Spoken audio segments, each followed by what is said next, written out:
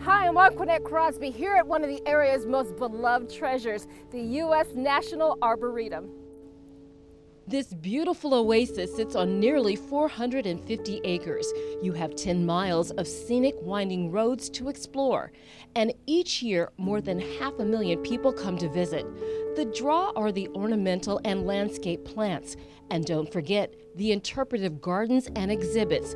We'll see more of this lush landmark during today's show. But first, welcome to Artico Art in your community.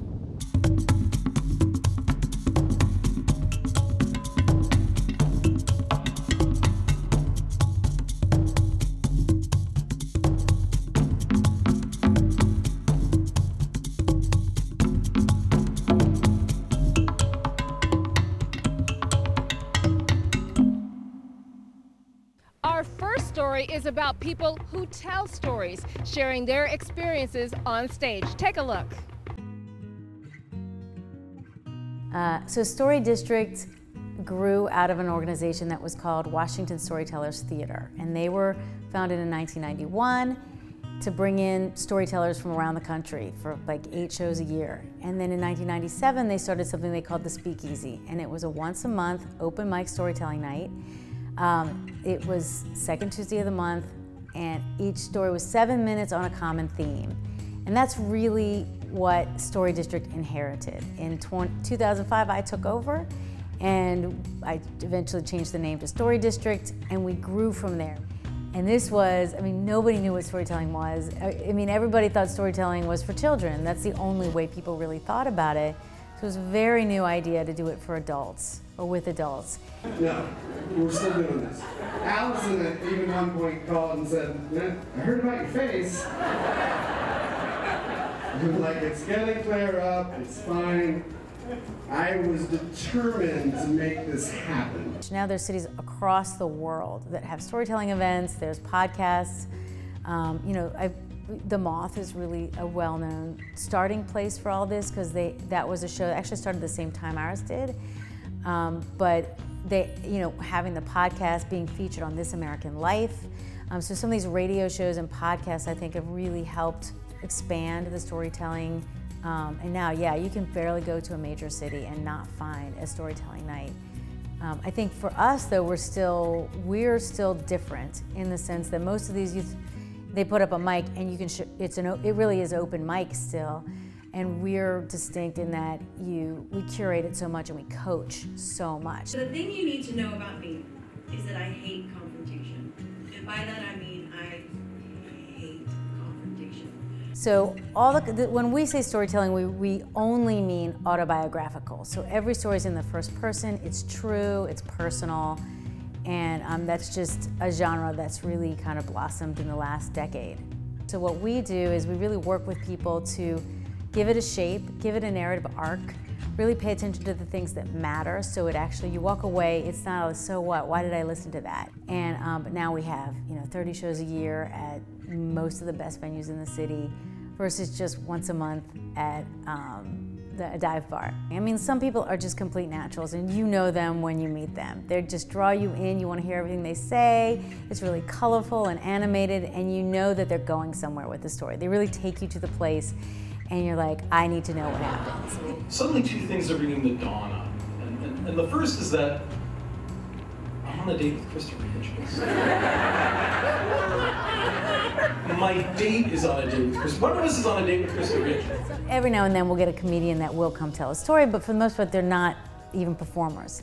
So one of the skills is just to keep it tight and focused. Um, another is they don't say enough. So it's really to flesh it out and give it that detail and that color that we're looking for. Some stories are completely just funny, but a lot of stories are actually about really meaningful things in people's lives or difficult things.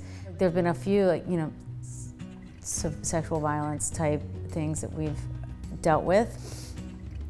Yeah, some people talk about loss, you know, um, or having be kicked out of being kicked out of their family because they came out, disease, mental illness. Um, yeah, some really challenging subjects.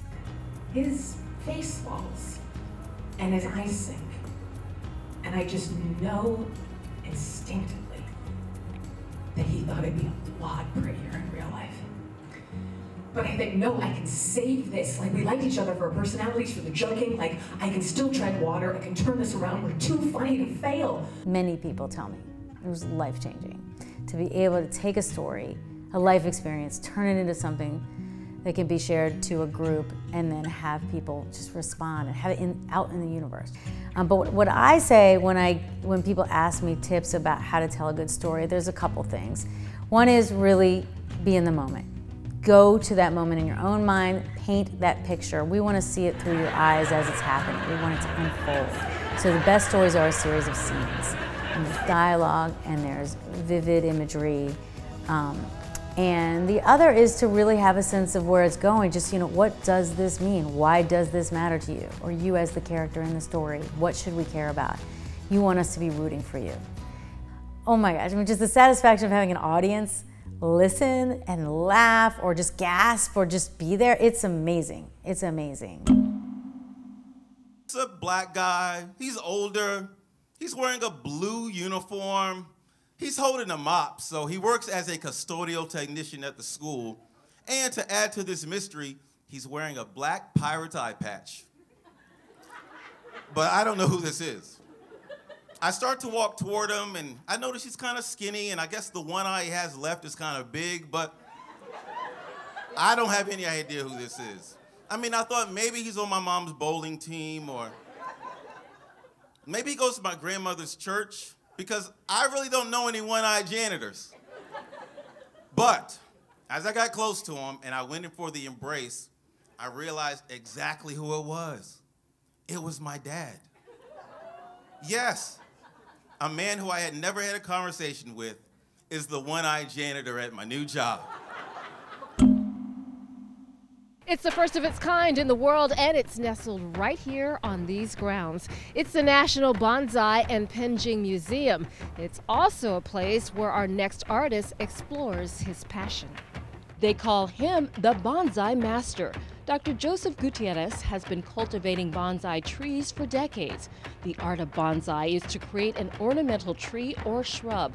This is done by artificially preventing it from reaching normal size. The idea started in China, but was later perfected by the Japanese. Bonsai actually are, are not a specific kind of a tree. Uh, bonsai is more of a technique. It's how to keep a tree small and dwarfed uh, and uh, growing well in a pot. Uh, I've always been interested in, uh, in bonsai, watching them, looking at them, uh, but uh, in 1969, just before I got out of the service, um, my mother's birthday was coming up, and I bought her a book on chrysanthemums. And it had chrysanthemum instructions on how to grow chrysanthemums, but it also had some, it also had a section on making bonsai out of chrysanthemums. There's many ways of making them. Um, my own preference is to collect an old tree. Uh, I don't have uh, a uh, hundred years to live, I don't think. They're old, they're gnarled, they're twisted, and then we just add the, uh, the art of uh, putting wire on and trimming and pruning. So it's much better to start with a, with a tree that's collected, that's probably 50 or 60, 75, maybe 100 years old, and prune it back and let it grow back out. It's a lot better that way. There are specialized tools for bonsai uh, that are specific to, uh, to the art, uh, special types of wire cutters, and specialized types of pruning uh, equipment. Depending on the age and, uh, and species and the size of the pot, uh, some are potted every year, some are potted every other year, some of the older trees are potted about every five years. They require a lot of patience and they require a lot of love, a lot of interest. Uh, you have to know uh, what the needs of different trees are. There are many different trees that are used for bonsai. Uh, azaleas will not like full sun for the most part. They prefer shade, uh, whereas pines and, uh, and junipers like full sun all day. Uh, they all like different types of soil. I'm working on a tree right now. It's a, it's a large old camellia and uh, it's been al allowed to grow out and now I'm wiring it and getting it back into shape. We have several collections here at the uh, Bonsai Museum. There's a Japanese collection which was the original set of bonsai trees that were donated by Japan uh, during the 200th anniversary of the U.S. That was 1976. Uh, we also have a Chinese pavilion, we have an American pavilion, and we have a tropical greenhouse as well. All I can say is that it's, it's been a very, it's been a very relaxing and a very uh, rewarding hobby for me. You learn to be patient. And now, from trimming trees to cutting hair, how misfortune can sometimes be the breeding ground for good fortune. A few years back, Eric Dixon had an awful experience at the barbershop, but here's how it paid off. Today, he's a cutting edge barber who's making heads turn. I've been a barber for nine years now. Once I got into the business and really understood the business, I grew a passion for it. I, I like, I enjoy making people look good. I got started in the business in an unfortunate way. I went to go get my hair cut one day a long time ago, and I went to a barbershop that wasn't that clean, and my scalp got affected. And it, I formed boils all over my scalp from a, a germ called dissecting cellulitis. So that kind of like, you know, pushed me away from barbershops and then I learned to cut my own hair instead. My nephews and my friends, and they know who they are. They definitely are good friends because I used to really butcher the hair. So, but they allowed me to get the practice in that I need. I got better and better. I can catch on really fast, especially when it comes to art. So once I figure out the tools and how the tools work, I can make it happen. I always challenge myself, like, oh, let me see if I can try, let me see if I can do it this way. Let me see if I can add this type of detail and this type of detail. The way I come up with designs, uh, normally people come in, they have an idea of what they want, and then overall, once they get the vibe and, you know, they get the experience from me and they see that, you know, I can actually freestyle. The most requested design is normally part designs, normally with zigzags where uh, it'll probably be something that goes down the, the, side of the hair. A lot of women now are basically been, are free with their hair. I know the short look is, is definitely a, a thing now and it looks good on a lot of women. And a lot of designs go, go really, really well with it, uh, with their style. You have mini style, you have the complete shortcut, and then you have some with the the hair uh, curls on top, low on the sides, some with the braids, locks, you know, and then you just correlate uh, a cut with it and with the design. It just is really it's it's edgy, it's it's it's you know really artsy. I just won my sixth trophy, first place for Freaky Freestyle Abstract Design. It was a local battle with the DMV Illest Barbers. They also on YouTube, they, they showcase a lot of barbers and stylists in the, in the area. Um, and they have monthly um, battles and competitions. So it gives us a chance to really come together as a community of barbers and stylists to basically mingle for people to know that there are really good barbers in this area. And it gives us a platform to be great and put our work out there for, you know, for success. So the, the good thing with this career, I can actually take that and, and, and put art into someone's hair. And I, that's what I enjoy most about it, you know, being able to create every day. So it keeps my job fresh and keeps it going. And, you know, I can just create different types of art styles.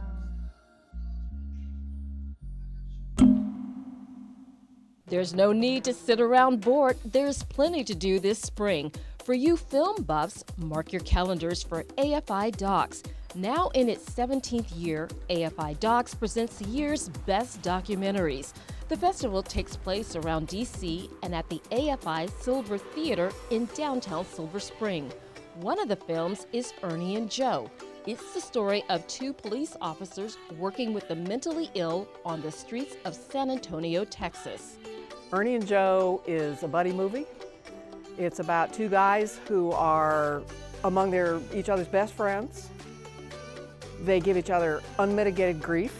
They have really terrible senses of humor that amuse each other tremendously. Um, they inspire each other, and they're they're going to inspire us too because what they do together is something that most of us can't do, which is they are in San Antonio, part of the police department, a special unit, that is helping the mentally ill on the streets of San Antonio get treatment and not jail. To recognize Caribbean Heritage Month, AFI Silver once again hosts the DC Caribbean Film Fest. It features films from nine countries. The festival runs June 6th through the 12th. Also on June 6th, you can toast former WHUT Evening Exchange host Kojo Nnamdi. This special event celebrates his show being on WAMU for 20 years. Culture Shock and the Ballou High School Marching Band will perform. It takes place at the Howard Theater. And the Jerusalem Fund presents the Voices of Palestine Summer Film Series. The screenings are free and open to the public. The series runs May 30th through June 19th. Earlier this year, Democrat Rashida Tlaib made history. She became the first Palestinian American to serve in Congress. She also became a social media darling when she wore this embroidered Palestinian robe or thobe to her swearing in ceremony. It inspired legions of Palestinian Americans. Palestinian Tatreez embroidery can be traced back some 3,000 years. This folk art is typically passed from mother to daughter over a cup of tea. That was the case with Wafa Ghnaim and her sisters. Today, Wafa teaches Tatreez needlework and preserves the history of this elegant art form. Tatreez is the Arabic word meaning embroidery, and Palestinian embroidery is specifically the cross stitch, which is utbat al-fallahi, which literally means uh, or translates to the Quaker stitch or a villager's stitch. This is the primary stitch used by Palestinian people. The traditions that we're maintaining today, the styles that we're maintaining today began in the 1800s. It's normally passed down between mother and daughter. Um, so there's definitely an intergenerational component. My mother learned it from her mother and grandmother. I, myself and my sisters learned from my mother. Um, now it's a little different. I mean, you might have men or boys passing it down in, within their families but traditionally it's between mother and daughter. Palestinian embroidery is traditionally worn on our garments. Sure, we have pillowcases and wall hangings and things like that, but primarily we produce embroidery to ornament our clothing. So there's an extensive amount of embroidery. If anyone's seen a thobe, which is a traditional Palestinian dress, they'd know that there's a lot of stitches on that dress and it must not be just by the hand of one person. In that process, they produce garments collectively. Um, traditionally in Palestine, uh, pre 1948, um, before the creation of Israel and before Palestinians were displaced from their home, homeland, um, young girls would begin their collections of embroidery to prepare for marriage, to prepare for various event, special events in their lives at a young age. And families would work together to create that, to create their wardrobe. There's a lot of different kinds of motifs, and I think that that's what makes it so exciting and such a creative, dynamic art form. Um, we have, for instance, a cypress tree motif uh, that we call, my mother's from Safad, Palestine, which is the northern district of Palestine. Um, and in Safad, they would call it the tree of life. So when I'm talking about a motif, I'm referring specifically to patterns that we that you see, images that you'll see in our embroidery. Um, so sometimes we do have just kind of geometric designs, maybe like a square or a triangle repeated again and again. That's a motif. Um, but we also have pictures in our motifs. We have uh, basically like iconography in our motifs that communicate something more than just embroidery. It tells us a story. It gives, and, and this is really the premise of my work in Tatreez and Tea, is to educate Palestinians, non-Palestinians, embroiderers, non-embroiderers, that our embroidery is a form of documentation. You'll also see certain dresses that carry the Palestinian flag. During the first Intifada, Palestinians were, in Palestine, were outlawed from carrying the Palestinian flags. So they would get shot, they would get you know, imprisoned. There was a threat to their life. So Palestinian women reacted to that and began to incorporate the Palestinian flag in their motifs on their thobes as a form of resistance. Today, what I'm going to be teaching is Birds of Palestine on Aida cloth. Birds, we have a lot of different birds in our like motifs and in our patterns. We have doves and singing birds. It's most challenging for people in the class to embroider in the specific technique that our grandmothers did. It's a specific kind of method in stitching and moving the needle so that the back of the cloth stays clean. And I try to explain to my students why this endeavor is so important for them, to get through this challenge, to work through this obstacle. Palestinian embroidery is normally worn on garments. So we want to keep it as light as possible. We want to keep the back clean because we don't wear lining in our clothing normally. It should be so clean that you should see the motif on the back as you would on the front. Embroidery really is a language for Palestinian women. It always has been. And in the diaspora, th the, that language might have changed because we were talking more, less about our village experiences and more about our national experience or our experience of exile. Um, but it's still a language. And I feel that in this sort of corporate, capitalist, consumerist culture where we view embroidery as beautiful and something we want to own and not necessarily produce, that message and that storytelling has been lost.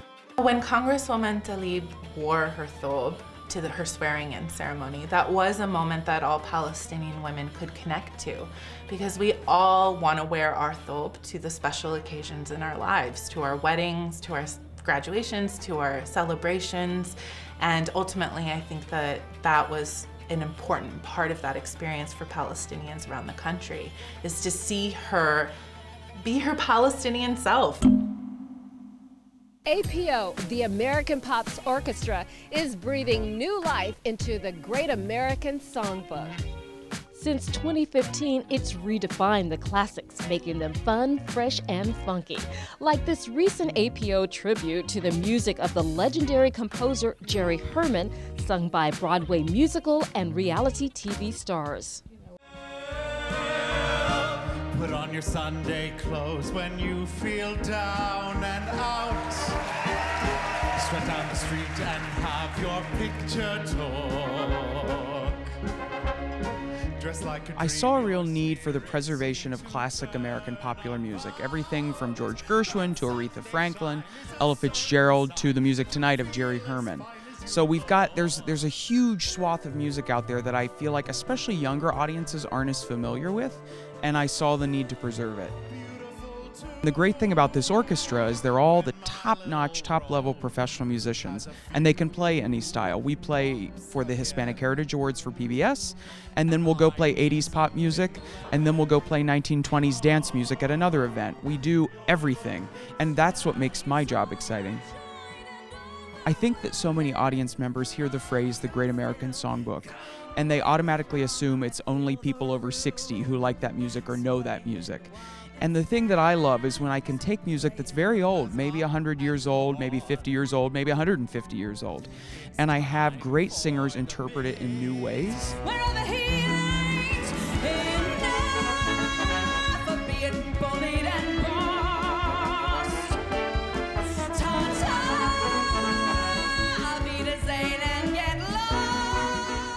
Tonight we're at Arena Stage and we're performing a tribute to Jerry Herman. And Jerry Herman is probably one of the most important Broadway composers of all time. His music has touches on so many styles, so many themes. It, it talks about so many social things that are still pressing today. So tonight we're doing that. We're featuring the comedian Kathy Najimy. We've got Paige Davis from TLC's Trading Spaces and from Broadway. We've got Tracy Lynn Olivera, who's a, a, tremendous talent who's been on Broadway and lives in DC. Mal Martinez, who was the lead in On Your Feet on Broadway.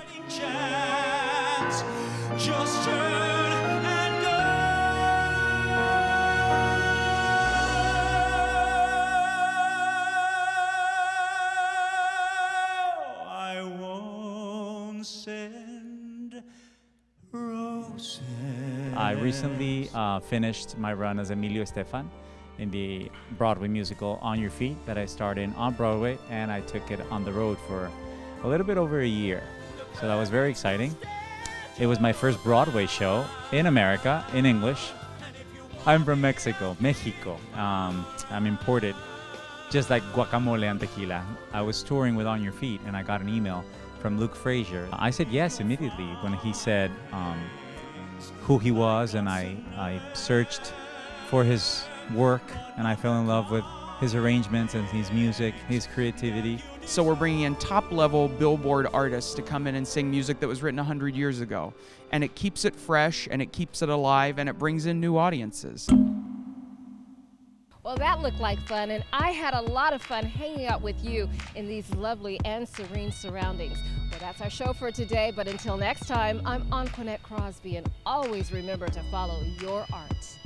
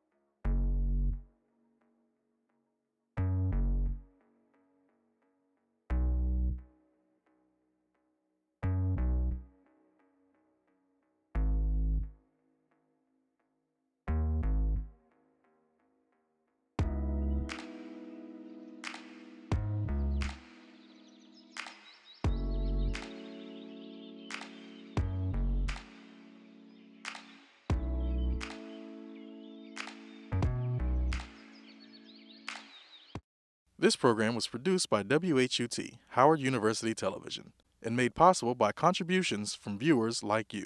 Thank you.